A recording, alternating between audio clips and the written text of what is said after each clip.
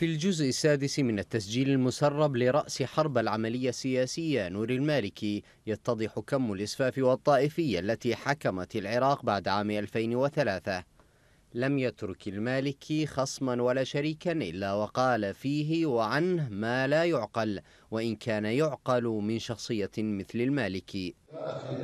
نجتمع وفلان وفلان موجودين وذولا عملاء مال الحق مرسي وش نحكي وصلوا لا شو نسوي شوف الشيعة شلون أرادوا يطلق المالكي صرخته الطائفية محذرا الأحزاب والكتل من خسارة مكانتها ونفوذها كاشفا عن الهوس الفكري الذي وصلت إليه الأحزاب الطائفية. المرجعية خسارة؟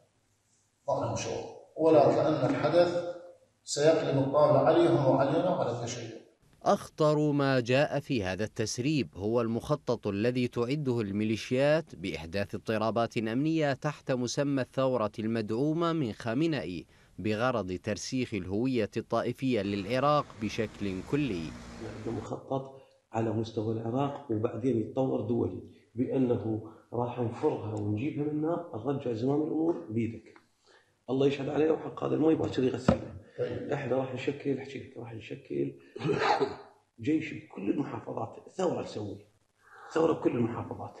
زين. والشروط التعجيزية بكل المظاهرات تعرف أنت يراد لها أمور ويراد لها شغل ويراد لها إحنا نريد فقط الغطاء. الغطاء إحنا نريد مباركة الإمام الخامنائي هاي نجيب لك.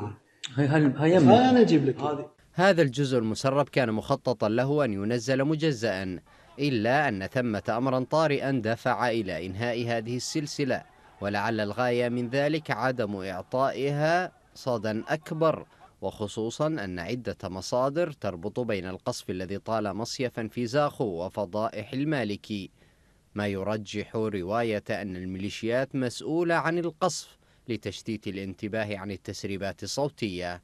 يكمل هذا الجزء المسرب الصورة الحقيقية لما يدور في أقبية العملية السياسية ليكتمل المشهد ويجسد أمام العراقيين ليدركوا حقيقة هذا النظام الذي أغرق العراق في مستنقع الأزمات.